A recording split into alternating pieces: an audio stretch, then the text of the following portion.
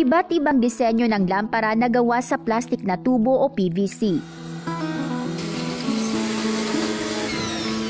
Likha ito ng mga person deprived of liberty o PDL ng Naga City District Jail na tinatawag na lampara ng paglaom o pag-asa. Sa iling ko, na, mas nadadivert si isip ko na magparaisip ng kung ano-ano problema. Kasi nalilibang ako tapos at the same time may income kami, nakakatabang ako sa pamilya ko. Taon 2017 nang simulan sa pasilidad ang livelihood project na ito para maging produktibo pa rin ang mga PDL at kumikita kahit nasa piitan. Actually sa simula pina uh, nood lang natin sila ng video kung paano ba ginagawa, yung anong tools.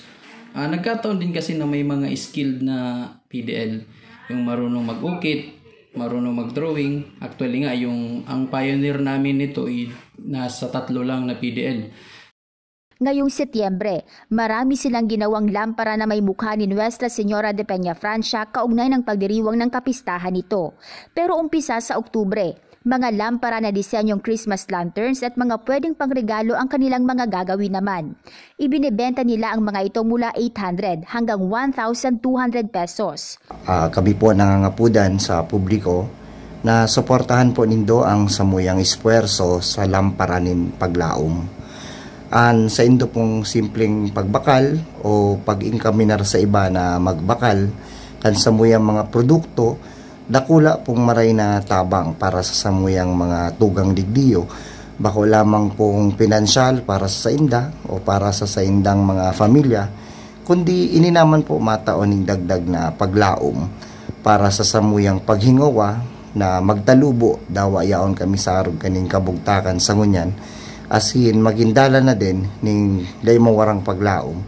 Asin na pagbabago para sa samuya gabos nananawagan kami na tangkiliking po natin yung mga products ng ating mga PDL kasi hindi lang naman sa kanila to yung anumang kita na, na nalilikom dito ay hindi lang naman para sa kanila. Actually, binibigay nila to sa kapamilya nila sa labas. So mas makakatulong sa ngayon sa ganitong panahon, lalong-lalo na sa pandemic tayo na na kumikita yung mga PDL natin sa loob and then ay papadala nila sa kapamilya nila.